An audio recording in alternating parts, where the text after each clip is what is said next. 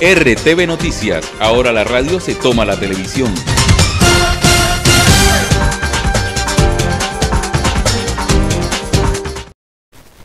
De la mañana, dos minutos.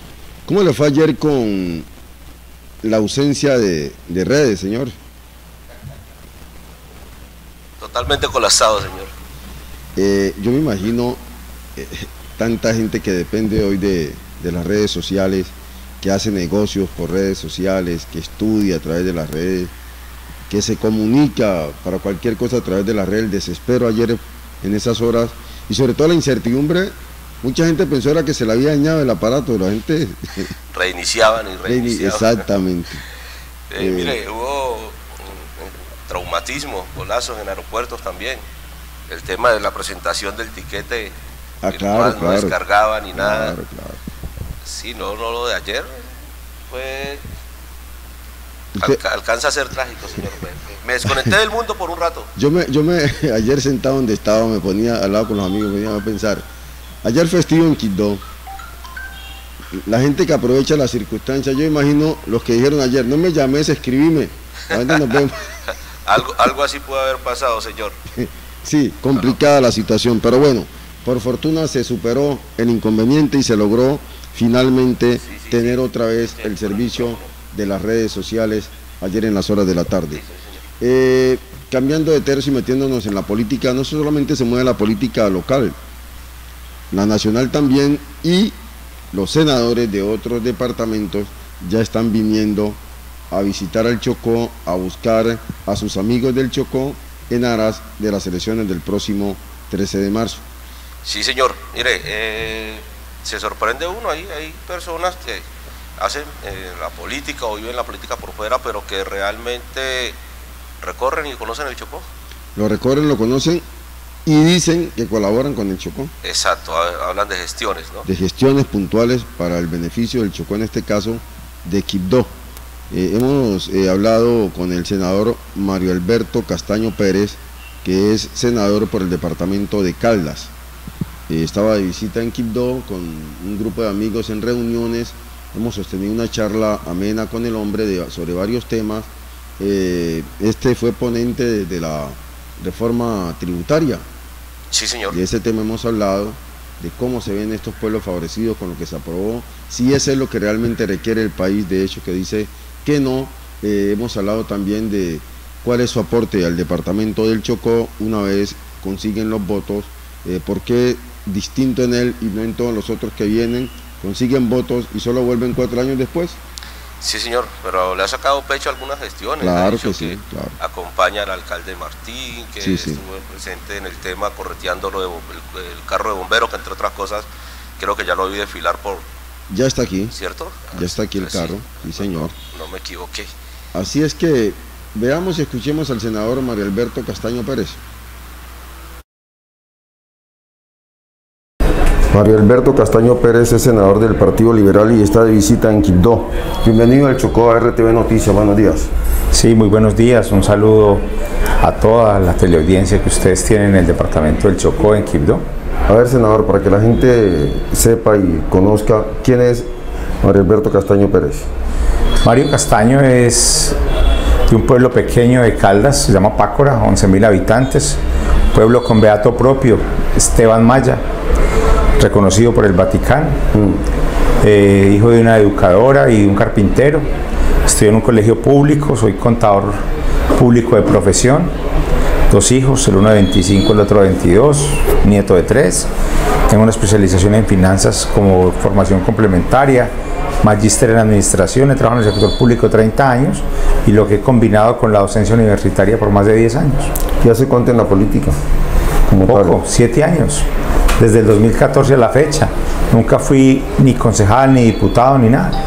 Solamente aspiré a la Cámara de Representantes, proceso que se llevó a cabo con éxito, y después a Senado en un periodo, y ahí llevamos ya tres años largos en el Senado de Colombia. ¿Con cuántos votos se metió al Senado? 75 mil ¿Y a cuánto aspira en esta ocasión? a 120 mil. 120 mil, es un salto muy... Pero cuando uno hace política evidente, seria, cuando uno no se queda esperando ser el mejor orador del Congreso, sino que uno entiende el papel y la gente porque vota con uno y puede llevar hechos concretos, puede transitar por los espacios, los caminos de Colombia con evidencias, entonces es, tranquila la política. Claro. Hay senadores que mm, salen con muy buena votación, pero en determinados departamentos. Hay otros que se hacen casi que senadores del orden nacional porque sacan votos en muchas partes del país. ¿Cuál es su caso? El caso, yo salí con mucha fuerza del eje cafetero. Saqué 48 mil votos en Caldas, 9 mil en Risaralda, 1.600 en el Chocó, 1.500 en Quindío. Pero yo entendí en el ejercicio del Congreso la regla de juego que es el espectro nacional. Entonces, dadas las características y estar en una comisión económica, el tema de la gestión de proyectos, el tema de la gestión pública, ha llevado a que los equipos de trabajo se hayan consolidado y uno aspire realmente a tener la territorialidad. Hoy nosotros tenemos fórmulas, el equipo político en Colombia en más de 10 departamentos y existe la posibilidad real de llegar acompañado con unos 10 representantes a la Cámara, al Congreso de Colombia. Perfecto. Eh, a ver, en el Chocó tenemos la sensación de que la gente viene, busca los votos, saca los votos y al final en el ejercicio del Congreso no hay contacto con el chocuano. ¿Qué hace la diferencia en, su caso con los demás? La diferencia es que yo conozco el Chocó desde el año 88, que mi familia tenía una acerrío en Ismina. Y la diferencia es de que a mí me gusta hacer política evidente. Le ayudemos, ayudado a pesar del no buen resultado electoral, porque la expectativa era mayor de tres años. Cuando yo saqué 1.600 votos, cuando la expectativa era 5.000 Mm. seguimos confiando en los chocuanos en cuanto a la gestión. Entonces estamos trabajando y ayudamos a consolidar eh, para el alcalde de Quibdó un convenio que firmó hace 15 días. Nosotros le ayudamos a llevar a nivel 3 en la estructuración y la gestión de una tutunendo, 3.400 millones de pesos. ¿Para pavimentación? Sí, señor. Fuimos los gestores con articuladores, con nuestro equipo técnico eh, en el Cantón de San Pablo estamos nosotros trabajando en un proyecto de inversión apalancado de más o menos unos 10 mil millones de pesos. Eh, en el Carmen de Atrato estamos ayudando. Lo mismo estamos contribuyendo a la maduración de un escenario deportivo para Nuquí. Entonces es bueno usted poder hacer política cuando las obras van a estar y están a la mano. Si usted empieza a hacer abstracciones o una política del futuro, una política intangible, yo no sigo para eso. Es bueno venir aquí, vigilar que las obras se, hacen bien y después de venir a decir, mire, eso somos nosotros. Cuando la política es así, con franqueza, evidente, seria, fácil. Y claro, con la misma franqueza que nos ha contado de las obras, eh, dígame algo, la situación del país, usted que está en, las, eh, en la Comisión Económica, en la cuarta, eh, ¿es tan crítica como la quiso plantear el gobierno en algún momento? ¿Qué buscaba el gobierno cuando dijo que no había recursos eh, para terminar siquiera el año en el país? ¿Cuál es la realidad? No, mire, hay una realidad, pero es que no solo para Colombia, sino para el universo, para todo el mundo. La pandemia cambió todos los estándares para todos los países. La realidad es que Colombia tuvo necesidad de recurrir a unos créditos, se bajó la calificación de crédito, hay unos programas de asistencia social, lo que es el PAEF, ¿sí? programa de apoyo al empleo formal, lo que es el ingreso solidario, que la gente lo ha estado reclamando, sostener eso por lo que se requiere dos años, mientras la gente se reincorpora a la vida laboral, mm. realmente no tenía la liquidez el Estado para eso. Se hizo una reforma tributaria, de la cual fui coordinador ponente. Se hicieron unas normas que flexibilizaron y mejoran el ingreso para los colombianos, para los colombianos, digamos, los más vulnerables. Y eso es una realidad que esperamos nosotros como país salir de esa crisis en uno o dos años. ¿Ustedes da fe entonces que la reforma tributaria, además de ser necesaria, es la ideal que, requiere el país en el momento? Eh, ¿La reforma tributaria era necesaria? Sí. ¿Es la ideal? No. no. Era una reforma realmente una reforma más estructural. Yo no ando en el tema del populismo, yo ando en el tema del pragmatismo. Esta reforma que se aprobó es una reforma paliativa, digamos lo que nos da una sostenibilidad por dos años en el cual los empresarios apoyan, no bajo el sofisma que ellos dicen que es que estamos dando, no, ellos pueden dar más. Claro. Sí, pero también nosotros tenemos que irnos acostumbrando a ir quitando unos ejercicios asistencialistas que es ilógico que gente que tiene 40 años se haya acostumbrado a recibir el subsidio y realmente hay veces conseguir mano de obra se vuelve más complejo. Y yo pienso que hay que segmentar realmente las ayudas. Eh, nosotros hicimos en esta reforma, al cual fui coordinador ponente, temas importantes, iniciativa nuestra. Eh, Kibdo dirá a la gente, ¿qué ha hecho ese man por nosotros? Este señor está aquí, el que promovió que a las, a las motos que tienen multas, a los motociclistas, que tengan deudas de tránsito, pagando solo el 20% del capital, estén a paz y salvo. Y hay gente que está pagando eso hoy. Igual a la gente que tenga deudas en tránsito, que con el 50% sin intereses queden a paz y salvo. A los establecimientos de comercio, que entre otras cosas muy triste ver cómo se ha apagado la noche en Quibdó. Sí, la gente en, sus casas eh, desde temprano. La gente está confinada. Eh, eso ya el impuesto, que era el impuesto al consumo del 8%, se suspendió el cobro durante este año. ¿Eso qué implica? Que ese 8%, el cual se cobraba, era un impuesto, le va a ayudar al empresario de la noche, al de los restaurantes, bares y cantinas, a pagar su arrendo, a pagar su, su empleado. Y también el auxilio para empresas de más de dos empleados del 25% para quien contrate jóvenes entre 18 y 28, 15% jóvenes y 10% mayores de 38. Esas son iniciativas de corte liberal que están en esta reforma tributaria vigente hoy. A ver, senador, usted acaba de decir que es paliativa la, reforma. ¿Por qué no se hizo estructural? ¿Hubo temor a la reacción popular? ¿No se dieron la pela el Congreso y el gobierno? Yo creo que desde lo político fue mal comunicada. Había que sostener los programas sociales. Necesitaba un alto calado esta reforma. No se pudo atrever el, presidente y el gobierno tenía muy poca maniobrabilidad respecto a la ciudadanía. Entonces llevó a que esta, esta reforma de 55 artículos lo que le diera era una sostenibilidad de los programas sociales y una sostenibilidad fiscal gobierno temporal. Dirá, algo, dirá este gobierno, ya el otro que venga solucione el problema de fondo. ¿Y usted cómo ve que va a quedar la relación de esa sociedad, la sociedad civil que está aún manifestándose en las calles con el gobierno después de aprobar la reforma, dado que esa misma sociedad civil estaba pidiendo cosas que valían billonadas y que no se van a solucionar con la reforma que se aprobó? Eso requiere primero que todo una transformación en la formación del ciudadano. Porque yo le digo, yo ideológicamente entiendo que es el progresista. Y a las personas que hoy se las dan de progresistas, eh, cuentan la mitad de la película. Entonces, están en la parte de las exigencias. Usted escucha las manifestaciones simples. Educación gratis, totalmente de acuerdo. PAEF o PAE para los niños gratis, correcto. Vivienda gratis, sí. Servicios gratis, sí. Es que en Finlandia se puede, claro. Pero se les olvida contarle que es que el que trabaja en Finlandia, cuando se gana 100 pesos, el Estado de una vez le quita 50.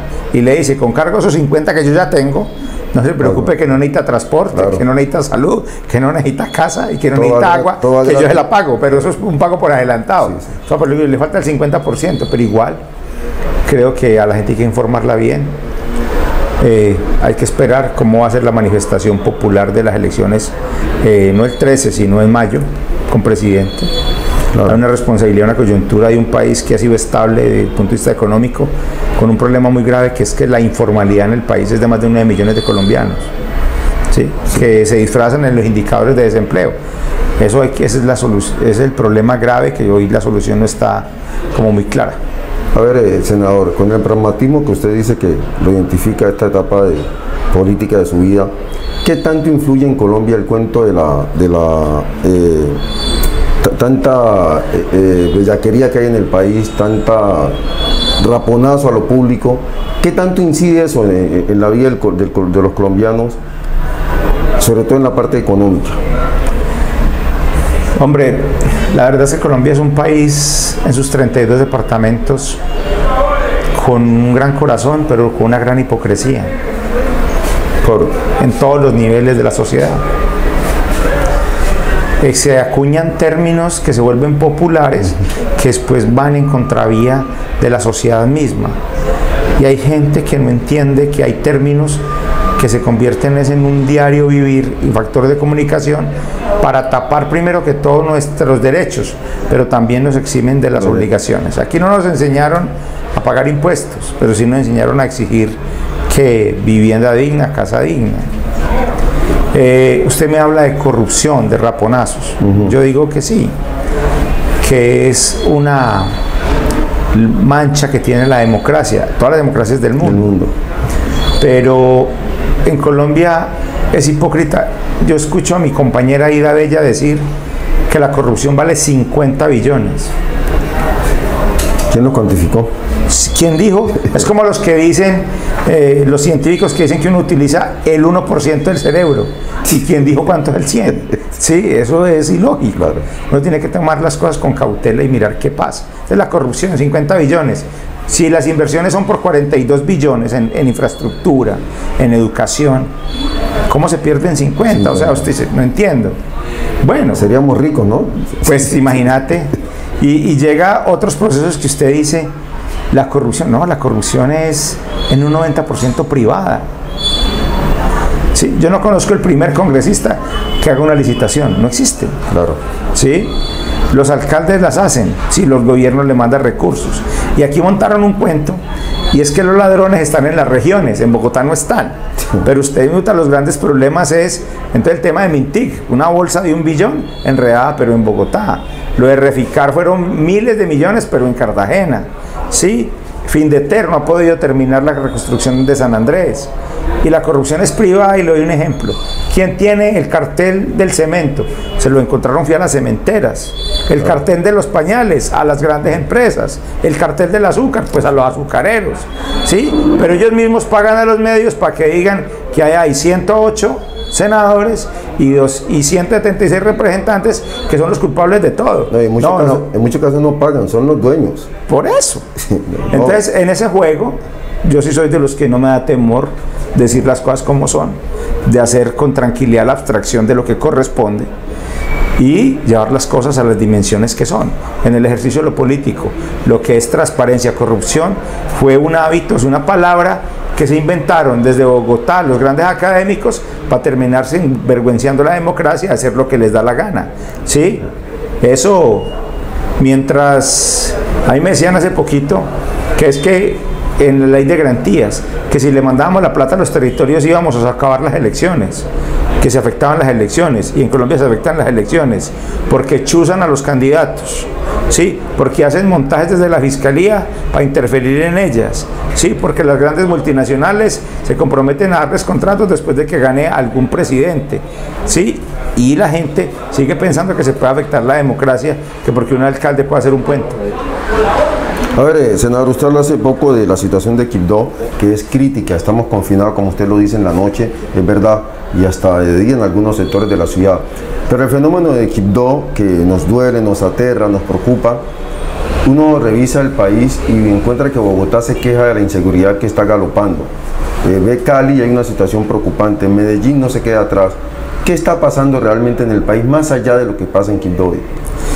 Yo pienso que se ha deteriorado la seguridad ciudadana como tal. Mire, yo pensaba en el medio de mi formación ideológica, decía a un compañero hace 15 días en un viaje a Boyacá, que estábamos bobeando, que, que, la revista Semana estaba ejerciendo un tema mediático muy de derecha, diciendo que había inseguridad en Bogotá. Yo le dije, hombre, pensando yo que realmente le podía ir bien a la. Cuando me dice el interlocutor, me dice, no, Mario, razón, ayer a un sobrino mío lo atracaron, le dieron una golpiza tenaz. Eh, después me encuentro con mi hermano y me dice, hombre, eh, fui sicariado un señor en Bogotá y, el carro un esparce dio contra y encuentro que realmente en los últimos días ha sido eh, el común denominador la inseguridad y la inseguridad tiene un origen. ¿Sabe cuál es el origen? El hambre. El hambre. Todos los que tenemos hijos por nuestros hijos haremos lo que tengamos que hacer. Entonces es muy difícil uno su hijo tres, cuatro días sin comer. ¿Eso cómo se resuelve? Con oportunidades, con que la cadena de empleo se vuelva a activar, ¿sí? que la cadena de empleo se pueda nuevamente en el país desarrollar. Vuelvo y le digo, siendo claro, discrepo de usted, Medellín, ¿no? Medellín lleva 66 días sin un muerto. Un dato histórico, me lo, lo, veía allí, antier, que pasé por la, por la capital antioqueña. Y me parecía que, que le falta reconocimiento porque todos conocimos cómo era eh, confuso, convulsionado Medellín, con toda la gente que coexiste allí. Pero sí, yo digo que hay una sensación nacional en las grandes ciudades de inseguridad, pero el origen es eh, el, debilitamiento el del consumo. Tenemos estadísticas de que hoy, eh, digamos lo de la gente vulnerable, hoy el 32% de la gente está comiendo una vez al día cuando antes comía dos. Entonces, eso es una situación que conlleva eso. Senador, muchas gracias por este primer contacto. Esperamos que vengan más en sus próximas visitas a Quindó, al Chocó. Muy amable. A ustedes, muy amables y prestos para estar intercambiando opiniones, no solo políticas, sino sociales, que para eso es sumamente importante estas comunicaciones.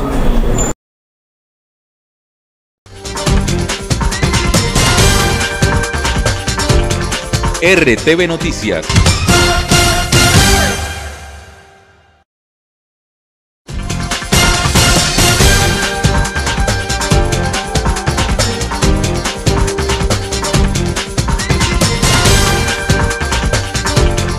RTV Noticias. Ahora la radio se toma.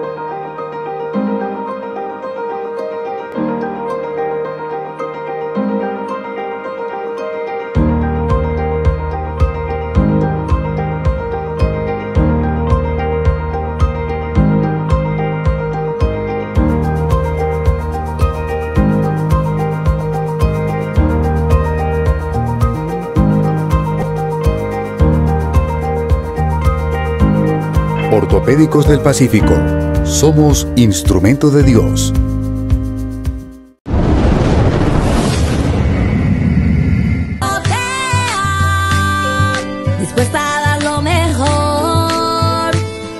En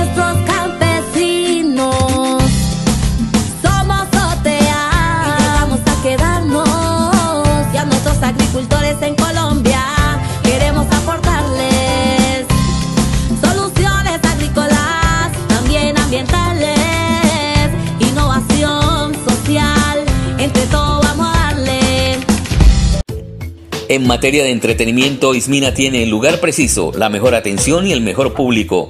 Bienvenidos todos al Centro Recreacional La Meca. Disfrute de punta a punta nuestro portafolio de servicios diseñado a la medida de lo que usted necesita en materia de diversión, descanso y comodidad. Restaurante, piscina, bar, lago de agua natural, salón social, discoteca, hotel, cabañas familiares y ejecutivas. Y para iniciar un excelente fin de semana, Nada mejor que viernes de golazo con descuentos especiales en todas las acomodaciones. Ah, y después del viernes, la rumba continúa con el sábado de Viejoteca. Tenemos servicio las 24 horas.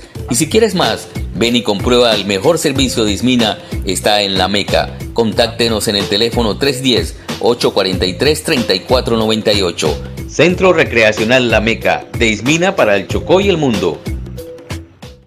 Atención, en Quibdó y para todo el Chocó y Colombia, la dermatología al más alto nivel, donde puedes recibir tratamientos en melasmas, alopecia, arrugas, flacidez, vitiligo, acné, celulitis, estrías, manchas y cualquier otra patología de la piel. La especialista Nadia Lozano Mosquera les ofrece tecnología de última generación con equipos cable, fotoláser, nanopor y terapia PAN los espera en su consultorio de la calle 27, número 672, Barrios de Sarconto, y se pueden comunicar al celular 312-286-1318 para agendar su cita. Y no olvide, lo trataremos como nuestro paciente favorito.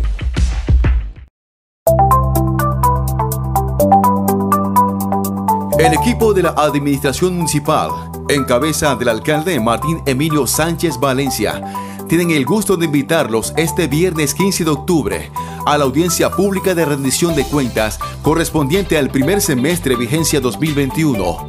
Este espacio tiene como objetivo dar a conocer los avances, resultados y desafíos en nuestra gestión a través de un diálogo público con el ánimo de que la ciudadanía ejerza el derecho constitucional a la participación en el control del poder político, así como el derecho a vigilar la gestión pública.